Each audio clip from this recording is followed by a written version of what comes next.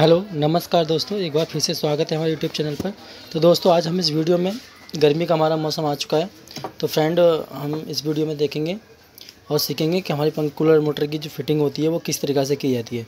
तो दोस्तों, हम क्या होता है, कभी कभी हम फिटिंग करते हैं, सारे बोल्टों को टाइट करने के बाद भी हमारा मोटर आधा फ्री आधा टाइट घूमता है। तो दोस्तों, उसकी सेटिंग हम किस तरीक़ा से करते हैं, बिना हथौड़ी से। तो हम क्या करते हैं दोस्तों आधा टाइट आधा घूमता है, उसके बाद हथौड़ी, हम हथौड़ी का इस्तेमाल करते हैं। और फिर उसके बाद हम उसको फ्री करने की कोशिश करते हैं। तो दोस्तों, उस तरीक़े से हमें फिटिंग नहीं करनी है। मैं आपको एकदम फटाफट आसान तरीका बताने वाला हूँ कि किस तरीक़ा से हम चाबी से ही हमें इसे इसके मतलब टाइट करना है और किस तरीक़े से सेटिंग करनी है। तो फ्रेंड बने रहिए लास्ट तक ये वीडियो तो दोस्तों, आपसे एक रिक्वेस्ट भी है। अगर हमारे चैनल पर आप नए आए हैं तो प्लीज़ हमारे चैनल को एक बार सब्सक्राइब कर लें और बेल आइकन प्रेस कर लें। तो दोस्तों, हम बिना वक्त गवाए वीडियो को स्टार्ट करते हैं। फिर दोस्तों, हमें सबसे पहले क्या करना होगा? हमें सबसे पहले इसके अंदर जो बुश होते हैं बुश को जो अंदर काय कार्बन आया होता है उसको हम अच्छे से साफ़ कर लेंगे कपड़ा डाल के। इस तरीक़ा से बहुत बढ़िया से साफ़ कर लेंगे, ताकि हमारा कोई कार्बन वगैरह ना हो। तो हम देखिए, बिल्कुल साफ़ करके कर लीजिएगा। इसमें मैं दिखा दूँ, देखिए, ये काला काला हो रखा है, सारा साफ़ करना है बढ़िया से, ताकि हमारा चलते जाम ना हो। देखिए साफ़ कर लिया, एकदम ओके हो गया, एकदम अब इसमें दोस्तों, हमें क्या करना है, इसमें ऑयलिंग कर लेते हैं। तो फ्रेंड मैं एक बार आपको बता दूँ, तेल डालने से पहले एक चीज़ बता देता हूँ मैं आपको। हम, मैंने, मेरे पास पंखे आते रहते हैं दोस्तों तो हम तो एक मिस्त्री आदमी हैं। तो दोस्तों, हमारे पास कुछ ऐसे केस आते हैं पंखों के, उसमें कोई खाना तेल डाल लेता है, जो सरसों का तेल हमारा खाने वाला होता है, वो तेल डाल लेते हैं, कोई मशीन का तेल डाल लेता है। तो दोस्तों, इस तरीका का तेल ना डालें, या इसमें ग्रीसिंग करें इसके अंदर, ठीक है? अगर ग्रीस नहीं है आपके पास तो जो बाइक से काला तेल निकलता है, ये वाला मोबिल ऑयल ऑयल जिसको बोलते हैं मोबिल वो आप इस्तेमाल कर सकते हैं। दोस्तों, इससे हमारा पंखा जाम नहीं होगा। दोस्तों, हल्का हल्का ही इसको मोबिल कर लेंगे इस तरीक़े से, और इसमें भी इसी तरीक़े से कर लेंगे। ठीक है सरसों का तेल और ये मशीन का तेल आता है कपड़े सिलने वाली मशीन डाल लेते हैं तो उससे तो बहुत चिकना होता है वो तेल, उससे थोड़ा दिक्कत आ जाती है तो उसका इस्तेमाल ना करें। और इस तरीक़े से हमें साफ़ पिटापिट अपने सही से साफ़ कर लें, बढ़िया से। उसके बाद हमें क्या करना होगा, ये वाला ढक्कन जो होता है बंद ढक्कन होता है इस साइड से, हमें उसमें एक दो छेद हो दिए होते हैं, एक ये होता है, एक ये होता है। तो हमें इसको देखने के बाद, अगर इसमें हम, हमारे हमारे यहाँ पे देखिए, इस तरीक़ा से हमारा ये छेद छेद है। तो हमें क्या करना होगा, सबसे आगे वाले सल्ट में, इसमें छेद में, इस तरीक़ा से हमें डालना होगा ये।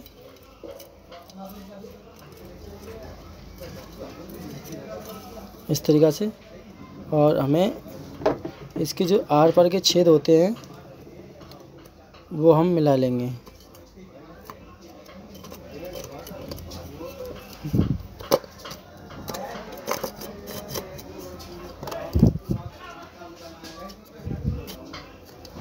तो आप देख सकते हैं। मैं दिखाने की कोशिश करूँगा आपको, देखिए। वो अंदर वाला छेद है, ये वाले छेद, हमारे चारों छेद आपस में मिल चुके हैं। तो फ्रेंड, इस तरीक़ा से करने के बाद हमें क्या होगा? हमें ये आर्मेचर होता है। ये आर्मेचर को हम इसके अंदर डालेंगे, बड़े प्यार से ही। डालने के बाद हमें इसकी सेटिंग यहीं पे, पहली बात तो यहीं पे सेटिंग करना होता है। तो हमें क्या करना होगा आर्मेचर का ये है सिरा जो होता है, ये सिरा इसके बिल्कुल लेवल में होना चाहिए। अगर नीचा हो तो नीचे पैकिंग डाल लें, अगर ऊँचा हो तो पैकिंग निकाल दें। तो दोस्तों, इसका ध्यान बहुत ज़रूरी है।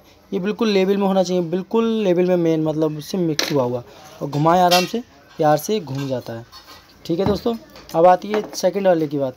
तो दोस्तों, इसको हम इस तरीक़े से डाल गए डालने का कैसे भी डाल दें इसको? डालने के बाद हमें इसमें प्ले देखनी है। कि ज़्यादा प्ले तो नहीं है। तो दोस्तों, इसमें हल्की सी प्ले है।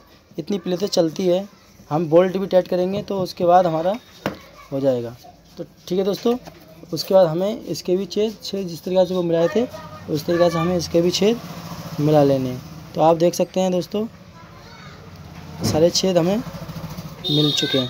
तो इस तरीके से मिलने के बाद हमें एक एक करके इसमें बोल डाल देना है।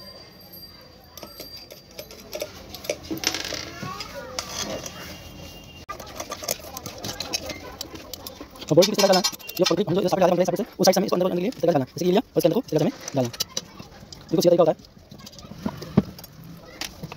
और ये बहुत आराम डालना दोस्तों। और इसके तार ना टूटे बहुत प्यार से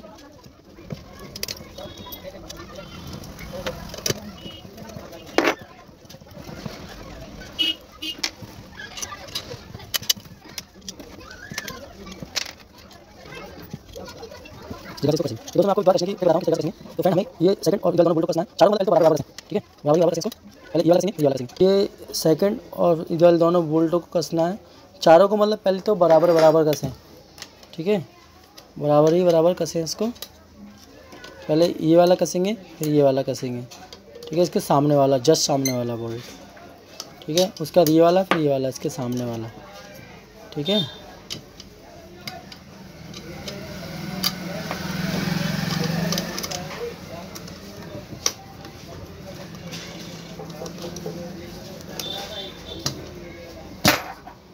अब दोस्तों देखिए ये देखो, ये हमारा चल रहा है और कहीं कहीं फंस जा रहा है। दोस्तों इसी की सेटिंग करनी है, किस तरीक़े से करनी है? दोस्तों, जहाँ फंस रहा है हमें, वही बोल्ट ऐड करना है। ठीक है, इस तरीके से देखिए, मैं जो कर रहा हूँ।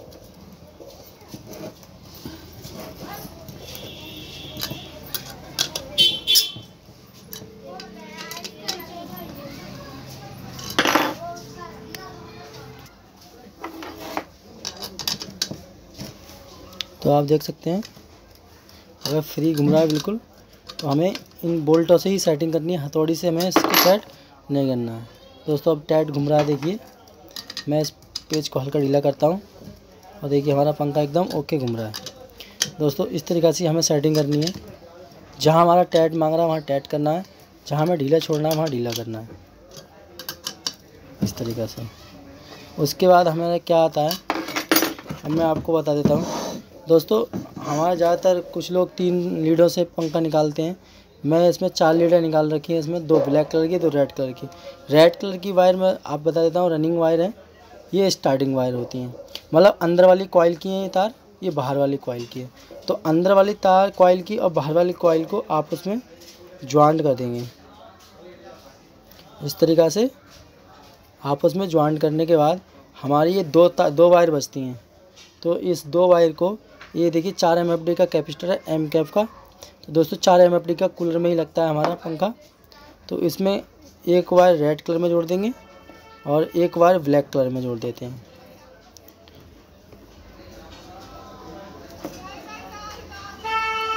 ठीक है? उसके बाद हमें क्या करना होगा?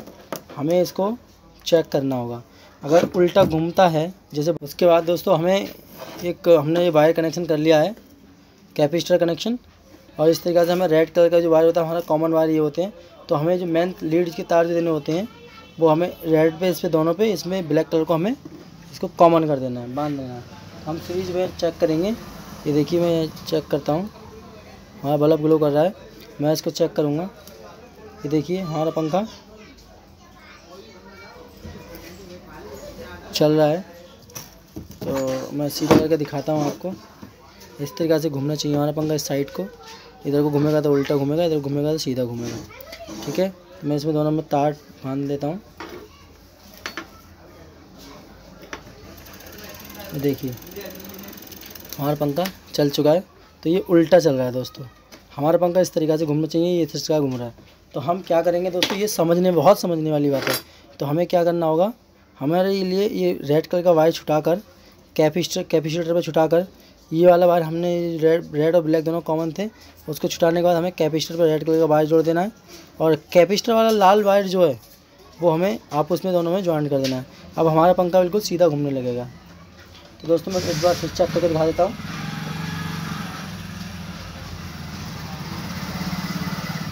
ये देखिए तो हमारा पंखा एकदम सीधा घूमने लगा, ठीक है? और एकदम मस्त पंखा चल रहा है ओके। तो दोस्तों, ये वीडियो आपको कैसा लगा? अच्छा लगा हो लाइक करें शेयर करें कमेंट करें। और दोस्तों, ऐसी इस तरीके की वीडियो देखने के लिए हमारे चैनल को सब्सक्राइब कर लें और बेल आइकन प्रेस करें। तो दोस्तों, अगली वीडियो तक जय हिंद, जय भारत दोस्तों।